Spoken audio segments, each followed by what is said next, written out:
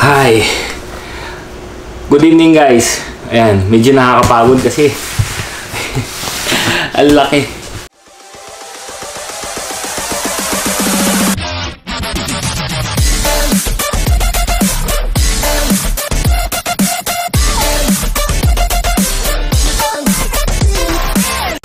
Ang laki nitong bubuksan natin ngayon. So, welcome back ulit sa ating um, unboxing ng hot toys. Unboxing. May punto eh. Unboxing ng hot toys. Nung nakaraan lang, kahapon o kanina, nag-unbox tayo ng Glad Hulk na hot toys na malaki. Welcome back nga ulit sa ating channel. Sa mga hindi pa nagla-like dyan, nagsusubscribe, mag-subscribe na kayo. Okay, ilike nyo na din yung Facebook page ng Toy Box. Nga pala, sa mga wala pa, PM nyo na lang ako, PM nyo lang yung page, Toy Box 290 pesos. Meron na kayong Toy Box na damit. Okay? Tulong na rin yan sa page natin. Okay, maraming salamat ha. So anyway, sa yun, balik na tayo sa unboxing ngayon. And guys, hi, ako po na ako sa sahig. Tingnan natin, game na ba? Yun, game. Buksan na natin to.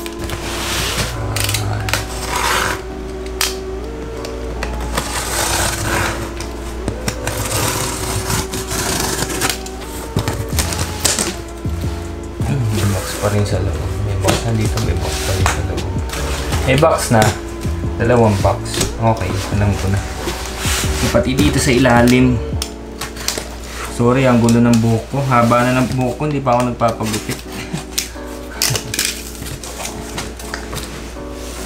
sa mga hindi pa nakasubscribe dyan, ha, subscribe na kayo. Sa mga hindi pa rin nakal... Oh! Ganda.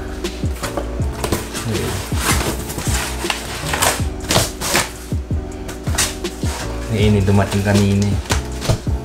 Ba lalabas?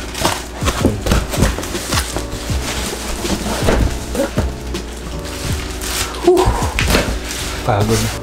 Ayan, laki. Ah! Ayan na guys. Whew! Hulkbuster. Laki.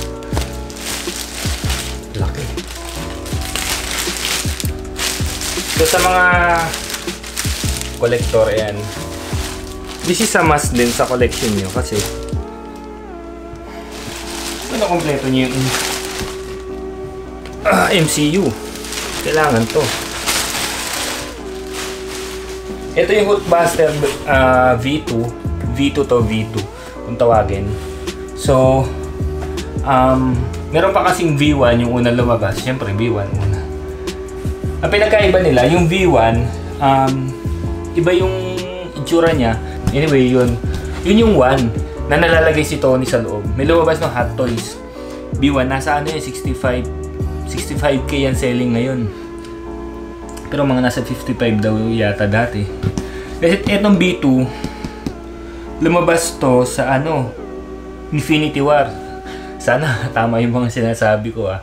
Kasi kalimutan ko na eh. Infinity War yata. Oo. Anyway, ayan. V2. Okay, open na natin. Dami ko sinasabi. Wow. So, wait lang. Pakita ko sa inyo yung box pala. Balik ko natin ha. So, sa box, ayan, sa harap, Hulkbuster, ayan, basic. So, laki niya. Ang ganyan. Sa gilid, Hulkbuster, ayan. Yung gauntlet. Yung sa likod, Hot Toys Present, ganyan. So, andyan yung mga kung ano-anong definition. Binabasa nyo naman yan, di ba? O hindi.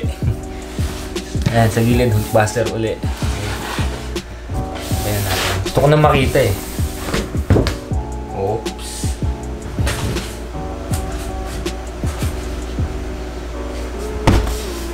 So, siya, isang, usually, di ba, yung si Hulk na, na open natin, pag tanggal mo ng lalagyan niya, siya na agad, pag tanggal mo ng box. Di ba? Ngayon, ito hindi. Kasi parang primary, eh, parehas ng MK50 ko, ganun din, parang primary. So, parang meron pa siyang box sa loob. So, open na natin. Oh! Ito na siya agad. Ayun no, nakikita nyo na nakikita ko. This is the manual. Sino sa inyo nagbabasa ng manual? Nagbabasa kayong manual. Instruction manual. Ayan. Okay.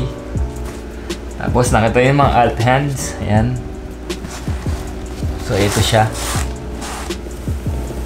Wow. Wow. Just wow.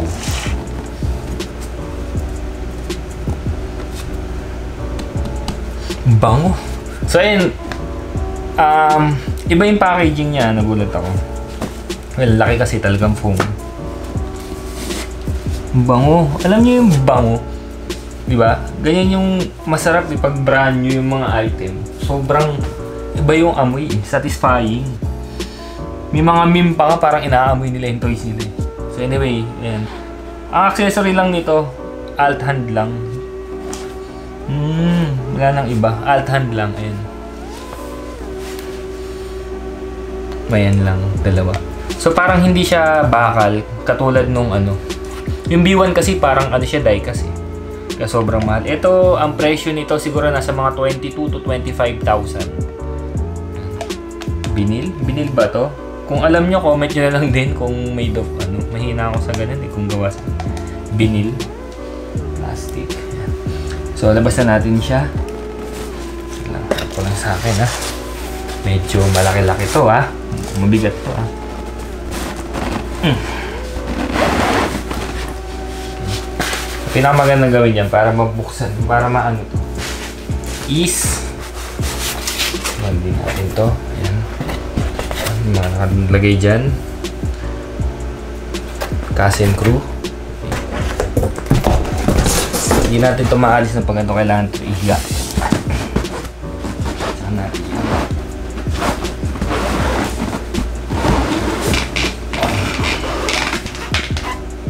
Ay, magaan lang siya.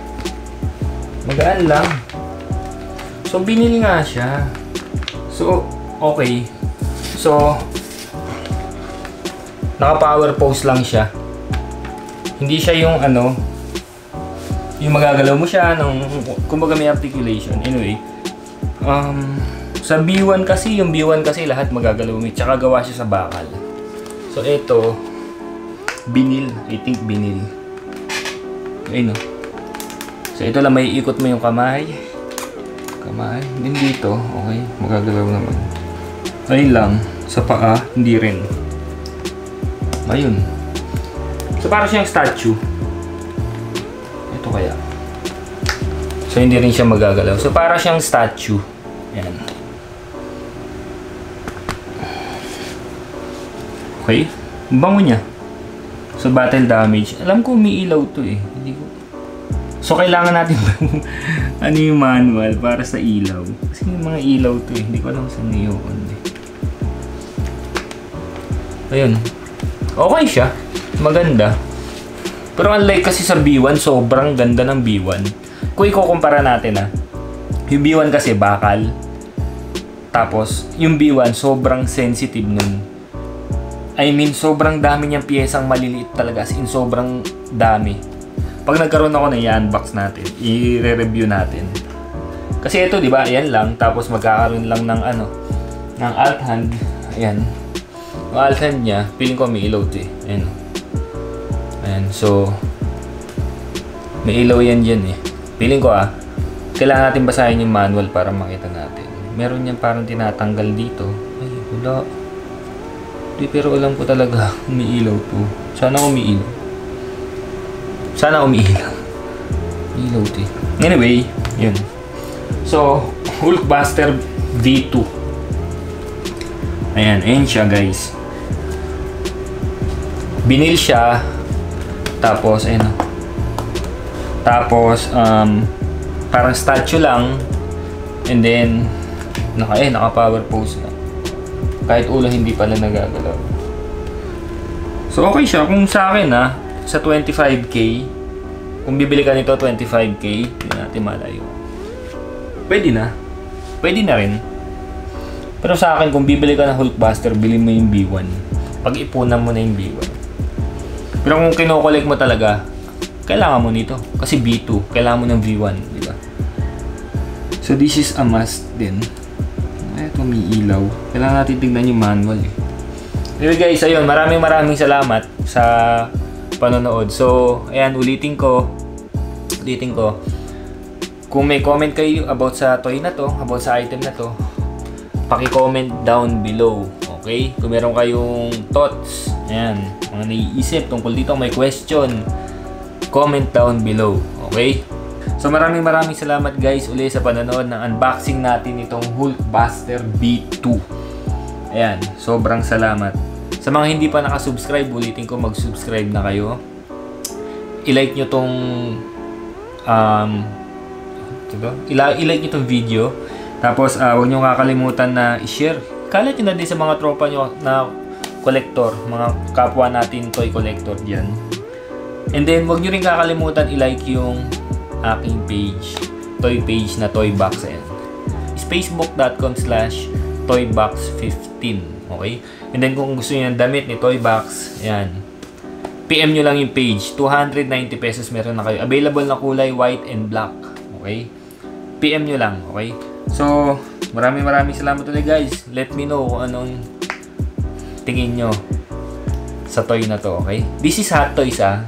This is Hot Toys. Okay? So, maraming maraming salamat ulit. And may, kung may gusto kayong toy na i-review ko na Marvel, Marvel ah, huwag yung iba kasi hindi ko alam yun. Kahit mga Marvel Legends, i-comment nyo lang din, suggest nyo para meron tayong mga video. Okay? Maraming maraming salamat guys.